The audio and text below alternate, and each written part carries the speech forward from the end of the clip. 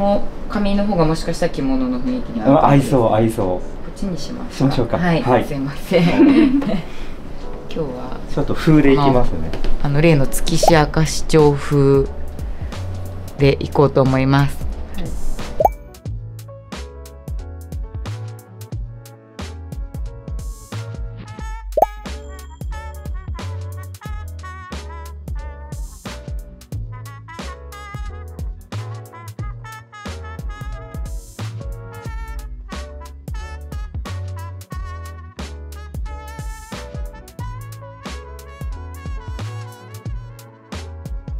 どっちがい。いんだ。なんか髪の毛黒あの黒いというかダークだから、うん。まあなんか別光の方が涼しげかつまあ乗っけてる感はすごいあるかも。部屋はあのいつもお世話になっている永田さんに今日もお願いしています。お願いします。今日は昔の夜会巻き風。はい。でちょっとここに串をつけるのは若尾綾子さん風。出ました。はい出ました若尾綾子。あすごい。綺麗ちょっと頭動かしてみてちょっとだけ。うん。いい感じです。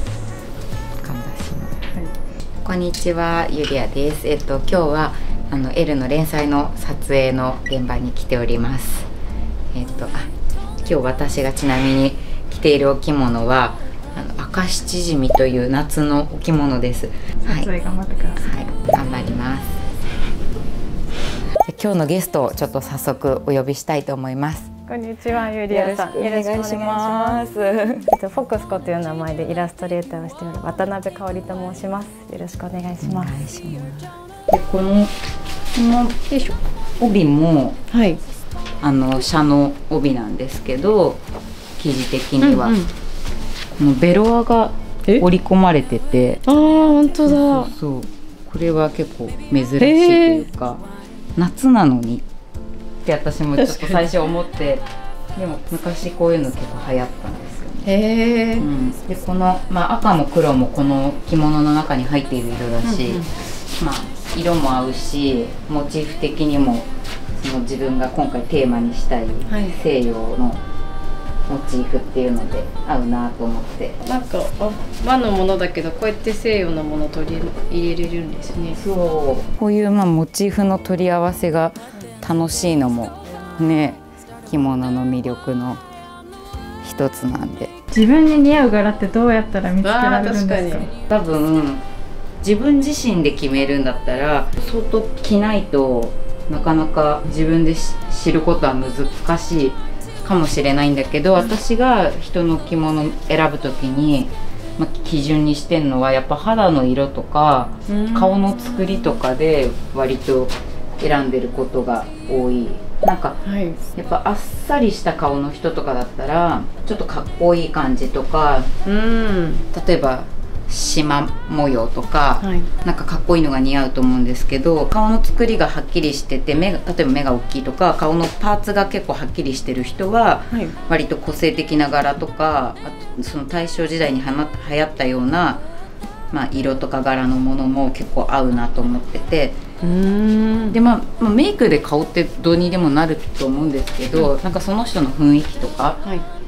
そういうものもあるかなと思ってて私はなんかメイクでどうにかしてどっちもうん。着れるようにしてるんだけどでもなんか私はその香織さんはやっぱりこういう柄とかい。色が、色使いが派手なものはい。も着こなせるからぜひ着てほしいなって思っちゃいます。でもなんかこういう細かく船とかこのな波うんうんうん。の感じとか、細かくも合わせられるのがすごい楽しいです、ね。確かに。あの組み合わせでスタイリングが完成するから着物は。友人の一緒に習ってる子はかっこいいのがすごい似合うけどなんかちょっとちょっとしたなんかクスッとするものがあったりして、うん。毎回さすがゆりやさんなんかいやいやいや選ぶのがいや。いやチャーミングだなと思って。いやいやいやちなみに帯留めなんですけど、これかなやっぱり。うんうんかっこいいです。ね。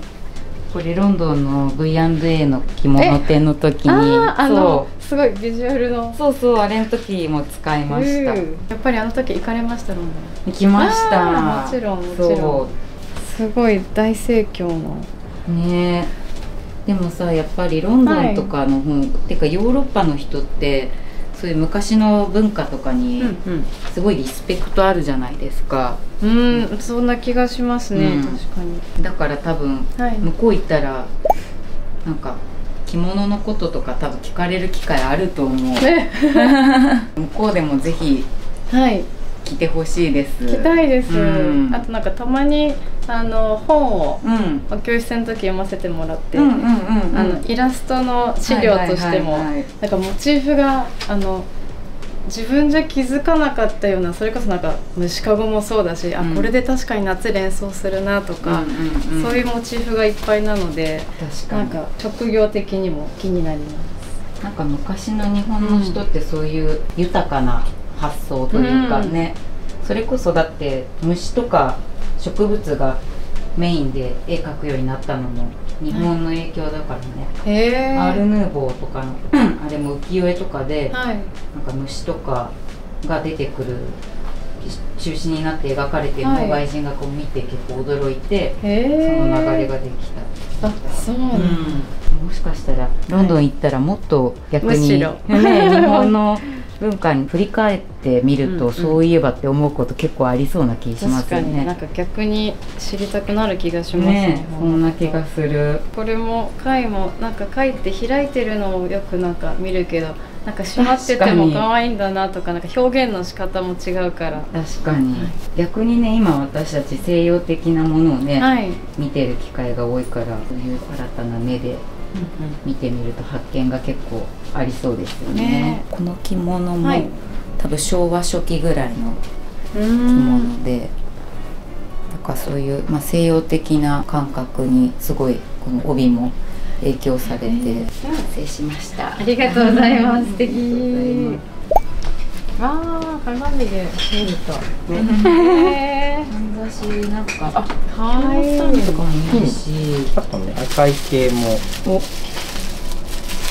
こになおおこれは何だろう。着物のね黒赤。これどうですか？これ可愛いあかわい。い虫食べてる。ね。かわい。い虫食べてるやばい。そう虫食いっていう、はい。えっと葉っぱをよく描くのが金沢の友禅、え加賀友禅は虫食いのモチーフがいつも着物に描かれてなんでだろう。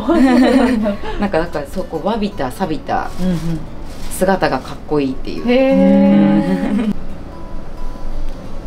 髪めっちゃ綺麗です。うん。どうなってるんだいやかあのあ髪質が。もともとのねだもともとの髪質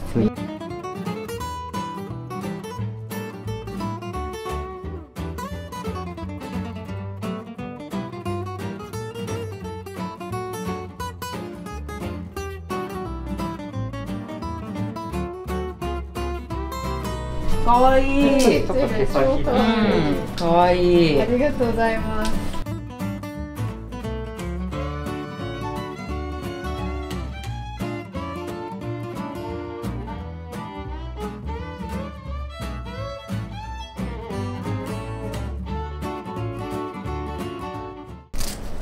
本当鏡見てぶち上がってました。嬉しい かわいい。やっぱなんかこのモダンな感じっていう風にしたくて、あとこのずっと見てたからなんとなく色もリンクしてるのでふーっと思いながら。で私も銀紙が入ってて黒ベースで、はいで香織さんも銀紙が入ってて、ねで黒ベースで青と赤でさすがです。うん嬉し嬉い。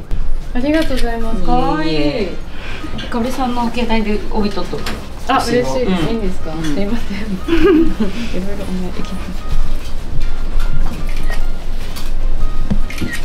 こんな風に後ろはよいしょ。なっておりますわあ、かわいへえ。しかもなんかザって書いたみたいな。そうそうそうへえ。こんななってたんです。ここの色やばいですね。うなのの青と。こへえ。の時代の色の使い方、面白いよね、うん。香木木を燃やすんだけど、はいそれを匂いを当てるゲームとかをやるの。今嗅いだやつどれ楽しそうそうそう、へで嗅ぐのもまあお茶みたいなお作法でこうやってやってうんこうやって嗅いでこうやって嗅ぐんだけどえでそれであの3つ嗅いだのがななんそれぞれどれかっていうのをえ当てるんええでもねもう他のこと考えてると全部同じ匂いに感じる結構難しいなんか本当になんかコードの先生が言ってたけど匂い香りと向き合うのは自分と向き合う時間だからって言われただからもう無無心にならないといけない。もうずっと雑念ずっと雑念でもう全然わかんないみたいな。何時代の遊びなのね多分平安だと思う。うん。うん、あの源氏香のマークとか着物によくあるんだけどそういうやつあれとかもやっぱコード香りの遊びっていうのはやっぱ結構宮廷文化なのかなって、うん。そうそうそう源氏物それこそ「源氏物語」の時って男女が顔を合わせることないから、うん。みんな着物にね香りを抱きしめてえ？そう着物の下にこう お香を置いてはい。わーって炊くと着物に匂いがつくから、はい。それで香りでこの人誰っていうのを もったいない確かに。あれどうしたらいいんだろうって感じだよね。ザクっていくしか行くしかないですね。行くしかない。行きますよ。なんか。あそう。わお。おおおおこれ食べていいんですか？いいですよ。いいただきます。すわーい。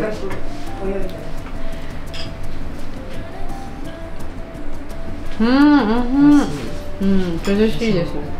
あ似合う青。本当。でもなんか確かに合ってる、うん。あ合わせてくれたのかもね。すごい。合ってるとか言ってたけどさ。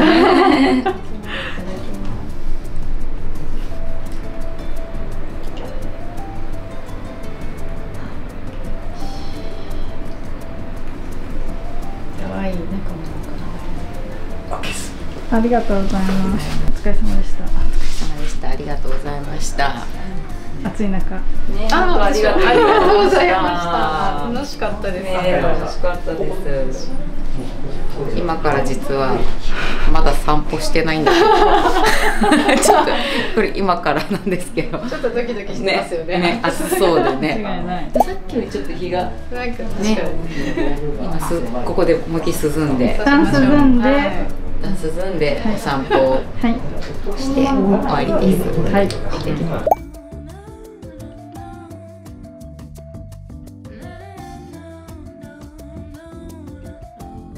今日はありがとうございました。もう暑い中。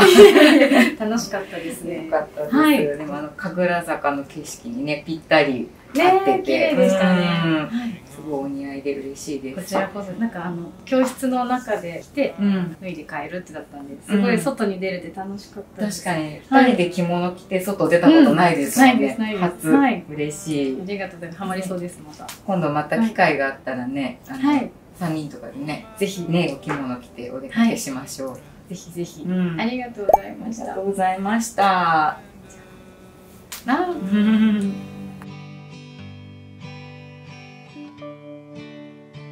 waiting on the spring